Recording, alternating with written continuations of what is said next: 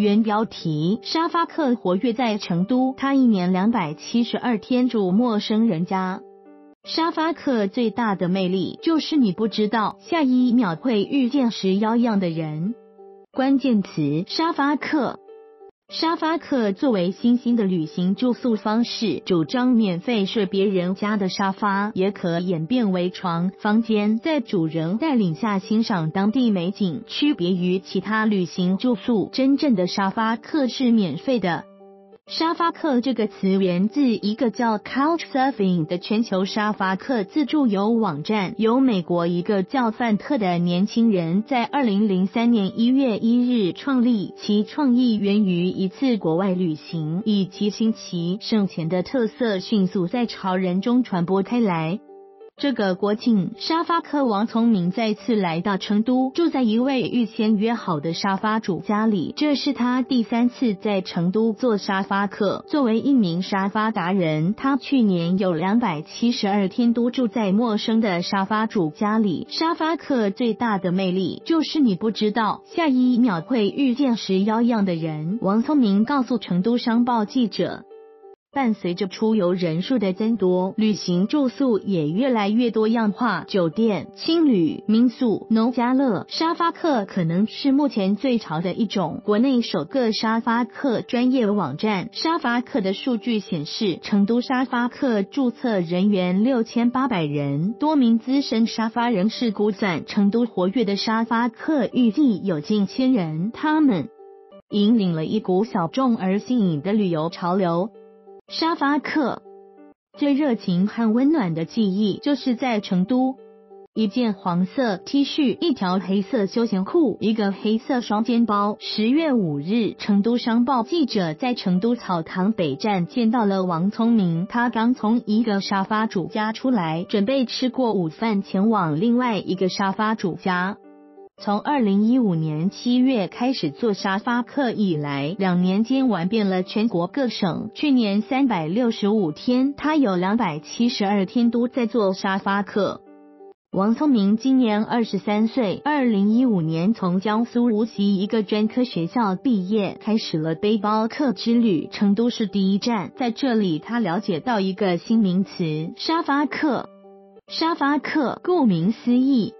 就是睡别人家的沙发。二零一五年七月，他在凤凰古镇首度体验沙发客，两三个女生挤在一个房间，心里不是不紧张的，还是害怕，毕竟没有付钱。王松明说，他安然度过了一晚，从此一发不可收拾。二零一六年十一月，王聪明从成都中转前往贵州，在网上预约了一个沙发主。那一天，沙发主刚好要出差，他对我超级信任，把钥匙放在门口的电箱里。第二天一早，我就去赶车了。这幺多年，我连这个沙发主常识幺样都不知道。王聪明说，他感受到成都的热情和温暖，一度想留在成都工作。他也遭遇过其他沙发主，那是在广西南宁。沙发主是一个五六十岁的阿姨。第二天，这位阿姨特意给他报了一个一日游旅行团，但车上一直宣传一带三，交五万六千八百八十八元以后每个月挣十万元。王聪明后来意识到，这位沙发主可能是搞传销的。两年期间，王聪明遇到的大部分沙发主都是好的，有的给房间钥匙可以自由出入，有的请他吃饭，不管在哪，讲礼貌抢着做家务都是需要的，人多礼不怪。王聪明说，为此他和沙发主对接成功率比较高。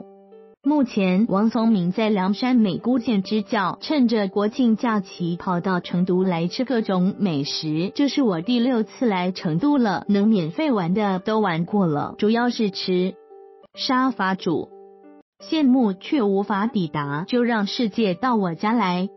成都市民刘畅就是为王聪明提供过沙发的沙发主，二十七岁，是一名平面设计师，在东三环住着一个套二的房子，自己一个人住，做的又是与电脑有关的工作，有时候比较无聊，想有人可以聊天。刘畅说，对于沙发客，他早有耳闻，去年十月份开始做沙发主，到目前接待了五六个人。流畅接待沙发客比较讲究，倾向于为比较困难的学生和某些短暂旅行的人提供沙发。沙发客是沙发主免费提供帮助，如果以此为职业，我不太欢迎。刘畅说，从接待的客人来看，沙发客整体素质都比较高。他如果不忙，会。和沙发客聊聊天，一起做饭吃。饭后沙发客主动抢着洗碗，我呢，有的时候会给他们介绍成都风土人情。自己无法抵达，就让世界到我家里。这句诗意的话是张雷二零一六年八月决定做沙发主的初衷。我很羡慕别人的那种生活方式，靠一个背包就玩遍全世界。张雷说他是绵阳人，去年在成都工作时租用了一个套二的房子，其中一间闲置，用来提供给沙发客。短短半年接待了五六人，他要求对方是男生，接待的沙发。可以职业背包客或者学生为主。张雷性格外向，晚上大家一起做做饭，听沙发客聊聊一路的见闻。这些人的旅途与我们平时出行很不一样，会看到许多不同的风景。张雷说，他没有遇到手脚不干净的。在沙发客入住之前，他会主动拍摄对方的身份证，对方离开时当面删掉。听了半年的穷游故事，不过他没有勇气像沙发客一样跨出这一步。我只能做沙发主，让世界到我家来，不敢做沙发客到外面世界去。群体，成都活跃着一群沙发客，主要是学生和背包客。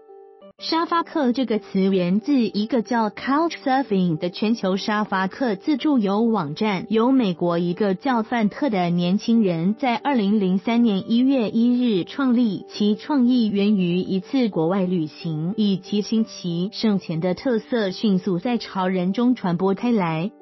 正是看中这个趋势，天津人刘仁江创办了国内第一个沙发客专业网站“沙发客”。截至目前，该网站的注册会员已经达到了四十万人，会员年龄跨度从十五岁到七十多岁。现在的氛围没有以前热，但是人数越来越精细化了。刘仁江说，前几年由于大家对沙发客不了解，不少人比较好奇想尝试。随着多年普及，越来越多人开始认识到，不是每个人都可以做沙发客和沙发主，因此游客更加趋于理性。目前该网站每天新增注册户三十至四十人，玩沙发的人主要集中在学生和职业。背包客。当前沙发客的平台主要有三个：沙发客论坛网站、百度贴吧、豆瓣沙发客小组。沙发客网站的数据显示，成都注册人员为六千八百人。另据多名资深沙发人士预测，目前成都活跃的沙发客在千人左右。成都沙发客资深人士夏志清表示，目前由于三个沙发客平台都只有发布信息和分享经验的功能，缺乏相应的信。信息评价机制和反馈机制，导致沙发客旅游只能成为一种小众而体验感强的旅游形式。换句话说，不管我接待多少沙发客，没有平台进行信用累计，因为无从判别这个人信誉到底好不好。夏志清说，他从二零一二年开始做过沙发客七十多次，接待过沙发客二十七人，观察成本低，隐患高。缺乏规范的机制和平台。旅游成本低、可分享是沙发客的优点，其缺点也显而易见。安全隐患大，沙发客和沙发主收获不对等，旅游可能达不到预期。多名沙发资深人士表示，国内普遍对陌生人的信任感较低，无法保证沙发主和沙发客双方的人身以及财产安全，缺乏一个较为规范的机制和平台。目前沙发客群体要发展壮大，具有一定的。难度。四川卓安律师事务所律师蒋健表示，沙发客将闲置资源分享是成本比较低的一种旅游形式。由于这是一种免费旅游互助形式，信息发布平台仅有行使审核的义务。一旦沙发客或者沙发主发生人身和财产安全事故，均只能通过事后报警予以补救。安全隐患比较高。如果要进行沙发客旅游，只能依赖一个陌生人的自律来解决。蒋健建议，如果要做一名沙发客，第一，在旅行之前尽量核实双方的信息，以确保发生事故可以找到人。第二，女生不要单独旅行，建议有同伴陪同。第三，贵重物品随身携带。成都商报记者周梅兰，责任编辑张玉。